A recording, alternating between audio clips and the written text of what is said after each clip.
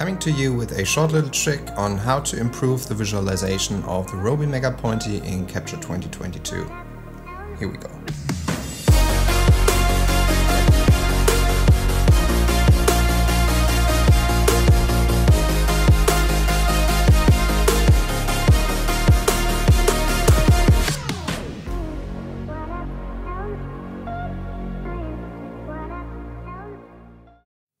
Hey gang, I'm working on a new project and I decided that it was a good opportunity for me to uh, show you a little hack that I use whenever it comes to visualizing the Robe Mega Pointe with uh, Capture. Uh, the Robe Mega Pointe, as you might probably know, is a hybrid fixture. That means that it has a very narrow and crisp beam, but can also be used as a spot fixture at the same time. The fixture does it by using a so-called beam mode and a so-called spot mode. However, there is no switch on the device uh, which you have to use to switch between those two modes. And there's also no um, setting in the menu or a control channel, but the fixture is quite clever and does that automatically depending on the state of the second rotating gobo wheel. So you have the first gobo wheel, which is a static gobo wheel, and then you have the second gobo wheel, which is rotating. And in between the open gobo and the first gobo, there is a gobo slot which is called the flat field. And this is actually where the switch from beam look to the spot look happens automatically. So let's have a look in capture. So the fixtures that you can see here are Robe Mega Pointes and I will select them. Oh, by the way, the capture file that you're seeing is the capture file that I used for my recent video. If you haven't seen that, make sure to check that out as well. And now we will bring the zoom down to the most narrow setting. So this is the most narrow setting that you can set the Mega Pointe in Capture. Um, however, I find that this is not narrow enough compared to the real fixture on a real stage.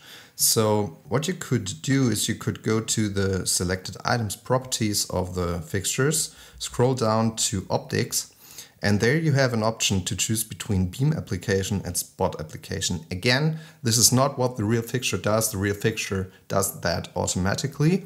However, even if I um, switch that to the beam application, um, I find that the beam is not as narrow as it would be on the real Mega Pointe. So that is my personal opinion and that comes from comparing uh, the look of a visualization to the real look of the fixtures on real stages. So for me, that is too uh, too wide, and I would love to have it a little bit more uh, narrow.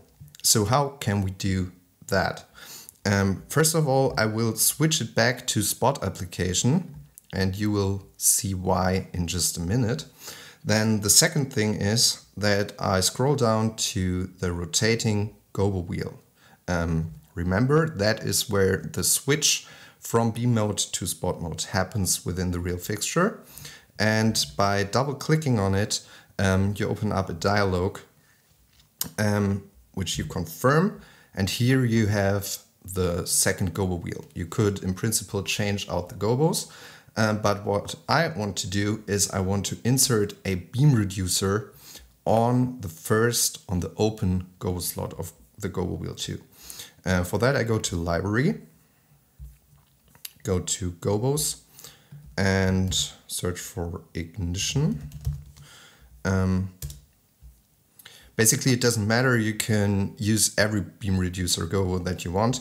Um, I just found that the ignition beam reducer uh, works quite well.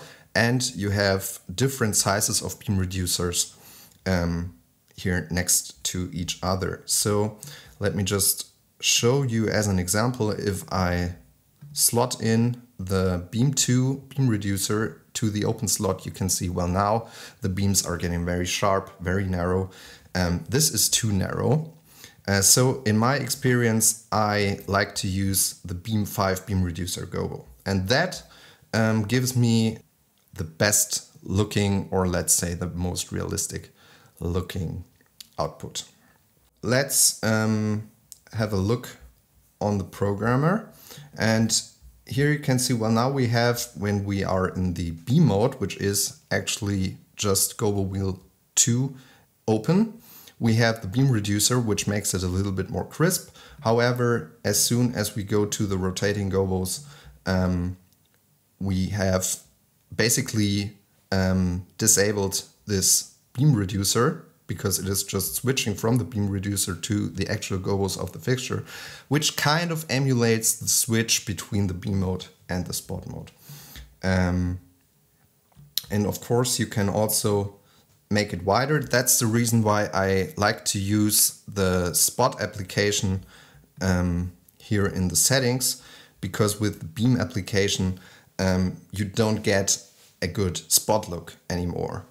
Um, also, this beam reducer helps with the intensity of the fixture because I find that um, with an intensity scale of 100% the fixture is a little bit too bright. Um, but the beam reducer, of course, reduces the output of the fixture just a tiny little bit, which also makes it a little bit more realistic. So that is my little trick with the Robe Mega Pointe in Capture.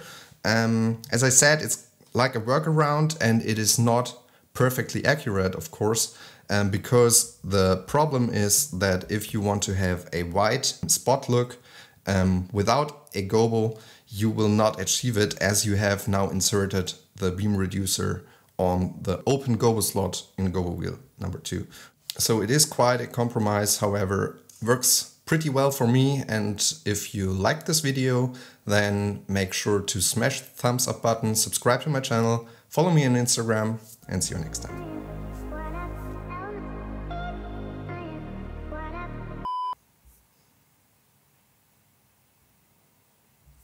Ist doch scheiße.